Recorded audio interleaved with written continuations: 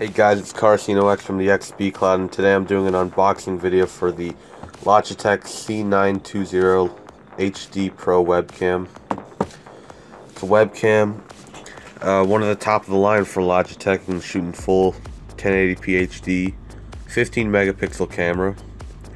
In case you were wondering, that's almost as good as the Note 5 camera I'm using right now.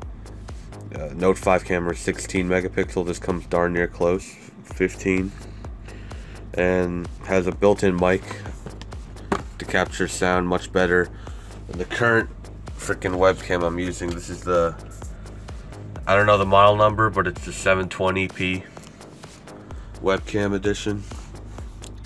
And I'm gonna unbox this up real quick. I can't do it because I'm only I don't have my tripod and I'm just holding the camera with one hand, reviewing it with the other and I can show you some test footage later on in the video. So once, so of course it comes in one of these things where you basically need to tear up the cardboard in order to get to it.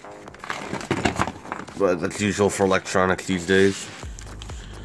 And to set it up, there's a little flap on the back that allows the webcam to rest on top of your monitor. And there's also like a little screw-in insert slot for a tripod or a little desk tripod if you just want to put it on there but it's not sold with the webcam you'd have to buy that on your own. And of course it's USB and Windows automatically searches for the drivers. You probably can find them online if Windows doesn't find it first.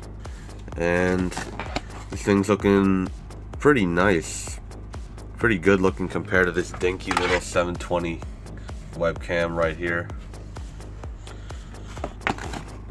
and I'm hoping it looks just as beautiful as it does on the outside in the test footage. So let's get on with that. And this is how the webcam looks like. So for 1080p I think it's pretty good. It just doesn't do so well in the low light. So if you're streaming or videoing with somebody you might want to make sure you're in a well-lit room. Other than that though I think it looks pretty good I'm just kind of stretched out right now.